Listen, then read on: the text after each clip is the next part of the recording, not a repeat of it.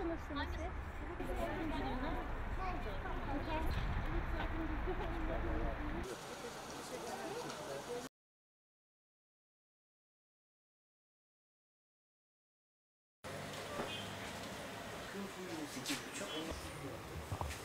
Ankara Kitap ve Kırtasiyeciler Odası olarak girişimlerimiz oldu. 1500 metrekare alanın az olan yerlerde kitap ve kırtasiye satılmasın. Satacaksa 1500 metrekare üzerinde alanı olanlar 12 metrekare reyon ayırsın, satsın. Ona bir şey ödemiyoruz. Fakat bu tasarıyı bir türlü komisyondan aşağı indiremedik. Hükümetten ricamız bunu en kısa zamanda ele alıp indirmesi ve kitap kırtasiye esnafını rahatlatması. Sağlıklı ürün kırtasiyeden alınır.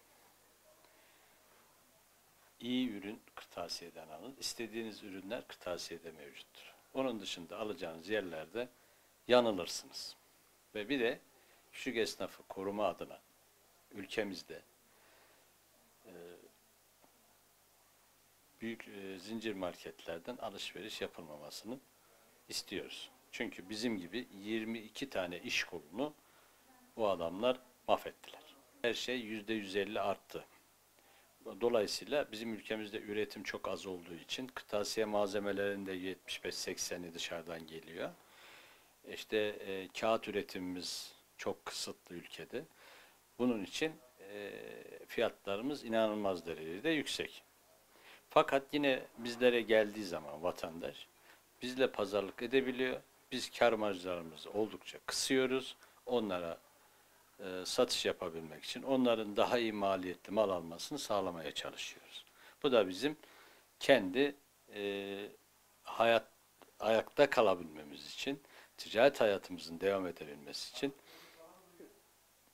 halktan destek bekliyoruz.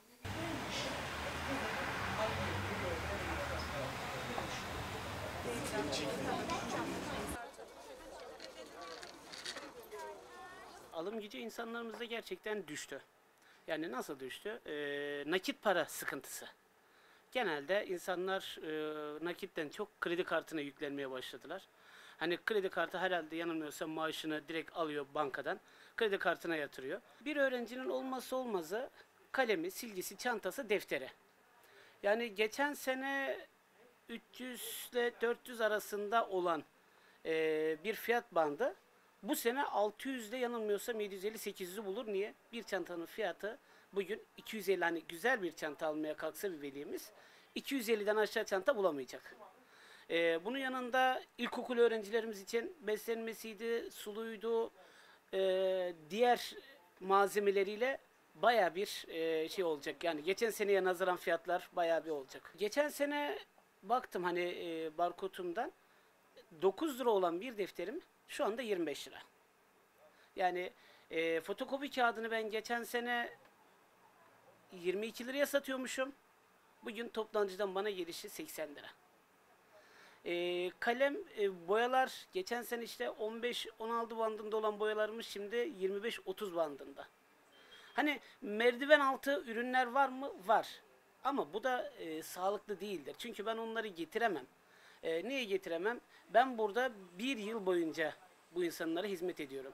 Hani şimdi sadece Eylül-Ekim ayında vur kaç olmaz. Çünkü yarın bana gelecek diyecek ki İbrahim bu ne böyle?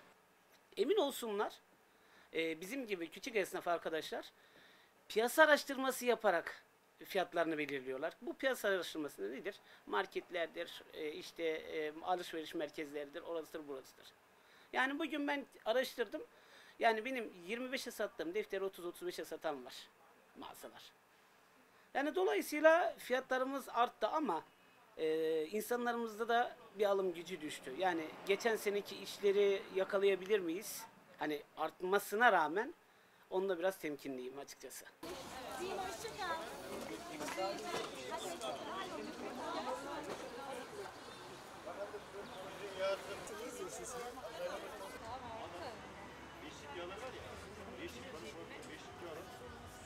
Ne kadar? Fiyatlarımız 280.